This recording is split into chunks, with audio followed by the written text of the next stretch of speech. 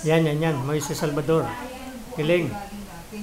Tignan mo partner sa kanila, kahit hindi umurang Galing, ah. ng bagyo, naghahanda na sila. Kung baga partner, mas mabuti ng praning kesa pabaya. Correct. Ika mabuti na yung sobra kaysa kulang. Oo, nakita mo naman yun, di ba? Sabi ko nga eh, baka naman porket hindi inulan sa lugar ninyo, sisingin nyo ang pag-asa, please lang, wag.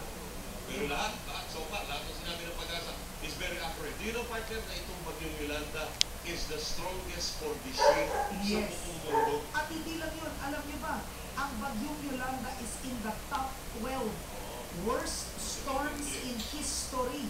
Isipin mo, ah, top 12 worst. O di ba partner, alam mo na sa cyclone level na daw, ang Yolanda, tama ka, it is the worst this year.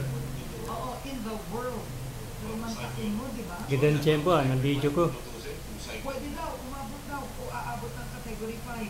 Kasi sa ngayon, labing siyam na lugar sa Pilipinas ay nakasignal number 4. Correct.